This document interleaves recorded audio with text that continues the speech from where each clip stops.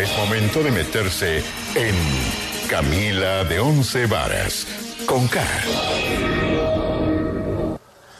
Camila, con K, ¿qué tenemos hoy? Julio, hoy se metió en Camila de Once Varas la comisión de acusación de la Cámara de Representantes porque varios de sus integrantes tienen líos con la justicia.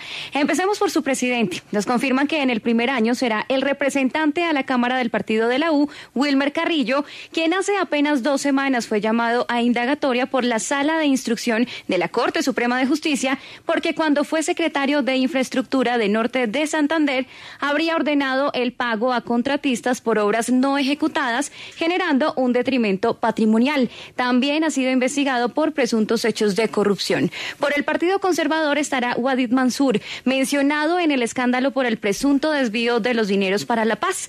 También la integrarán Juan Carlos Wills y Daniel Restrepo. Por el Centro Democrático repetirá Óscar Villamizar, quien en el Congreso pasado pidió archivar varias investigaciones, muchas de ellas contra el presidente Iván Duque.